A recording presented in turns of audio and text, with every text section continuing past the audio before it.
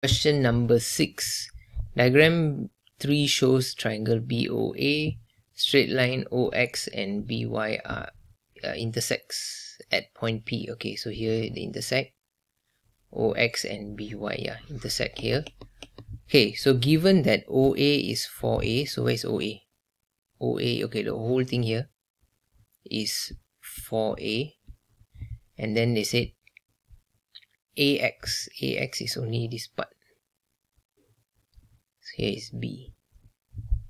And then 3bx equals to 2ba so actually you can form the ratio. 3bx over ba equals to 2 and 3 so where is bx huh? Ah? bx is here. Bx is here. And then ba is here. So they are saying that ba is the whole thing right? So the whole thing ratio is 3 and then bx the ratio is 2 okay so that means here ratio is 1 lah. so that means you can straight away know that 1 represents uh, b right? So 2 means represents 2b lah. okay so here, here be 2b okay so you don't need the ratio anymore. You just you just change it in the form of vector.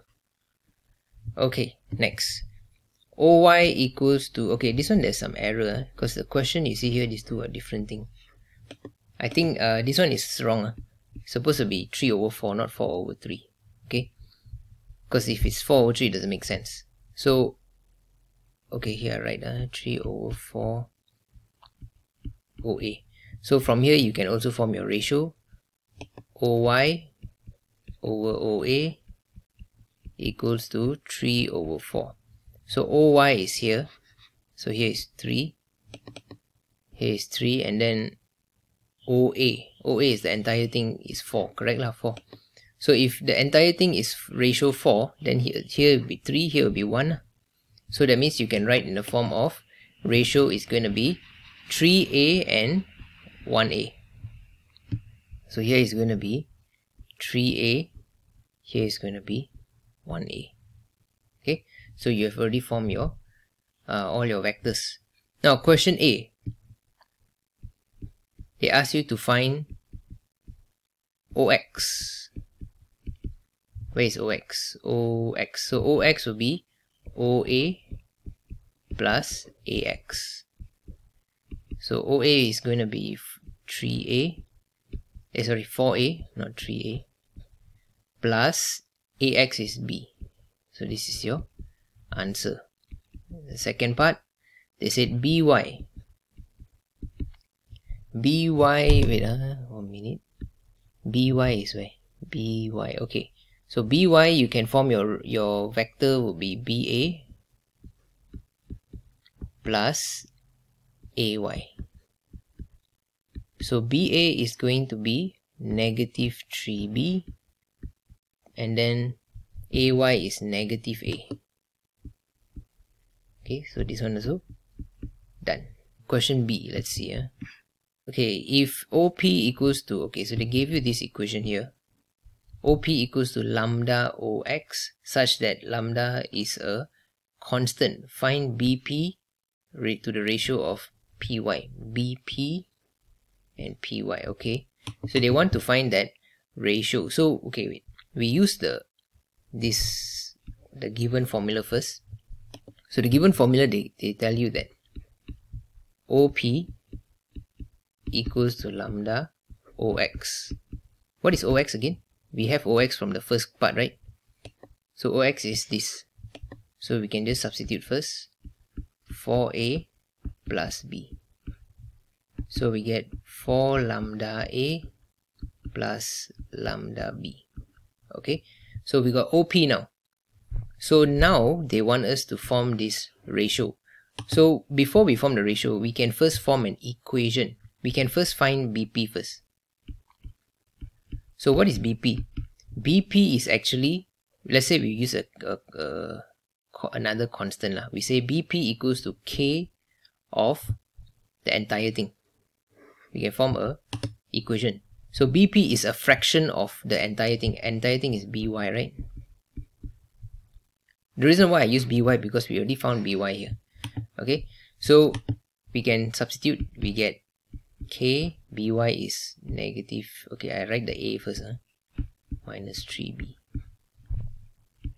equals to negative ka minus 3kb okay? So that is the by part the back part.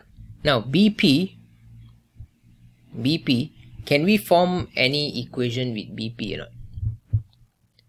Bp okay let's see uh, bp we can form bx uh, no we cannot find that. Op do we have op yes we do have op so that means bp here we can form another equation.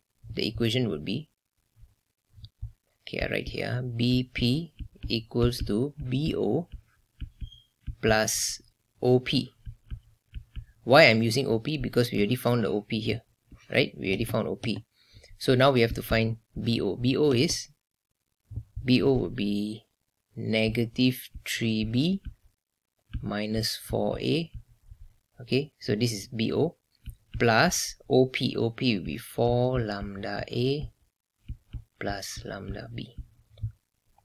Okay so why are we doing this? Because we got two equation of bp now right? We got two equations so we can combine later. Okay? So let let's simplify this first. So a and a we can put them together. So we get 4 lambda minus 4 a.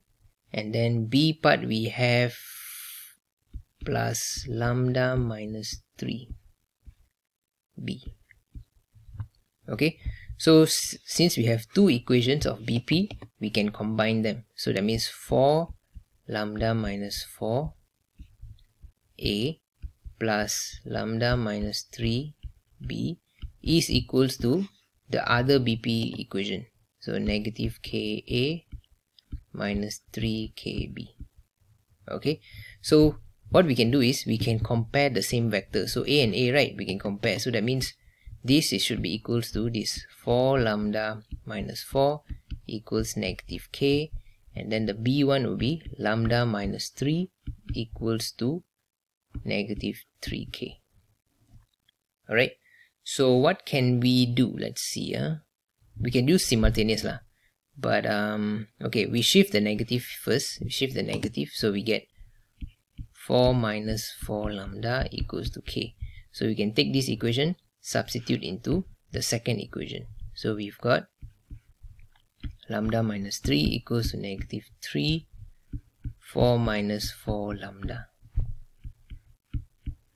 So you get negative 12 positive 12 lambda.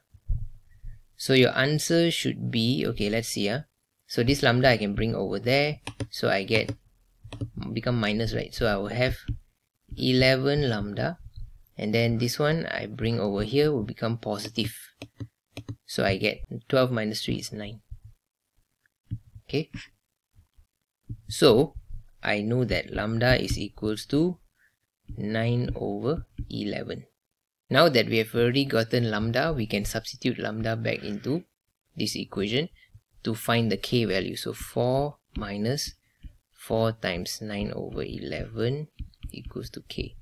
So you just type in your calculator, you will get k equals to 8 over 11. So why do we need this? Because we we want to substitute back into the, our, our original equation here. So we know that k is 8 over 11, right? So that means uh, BP, the ratio of BP over uh, BY is equals to 9, uh, sorry, 8 over 11. 8 over 11. So that means what is the ratio they are looking for? That means uh, if we come back to our diagram here, so BY is the entire thing here. Right? It's the entire thing. So we know that the entire thing ratio is 11. So this whole thing here ratio is 11 and we know that BP is 8 BP is 8 so if here is 8 here the whole thing is 11 what is the remaining of PY the remaining will be 3 right so since the question is asking for BP to PY so BP to PY so you know the ratio is going to be? The ratio is going to be? Let me write here. Ratio is going to be 8 to 3 so this is your answer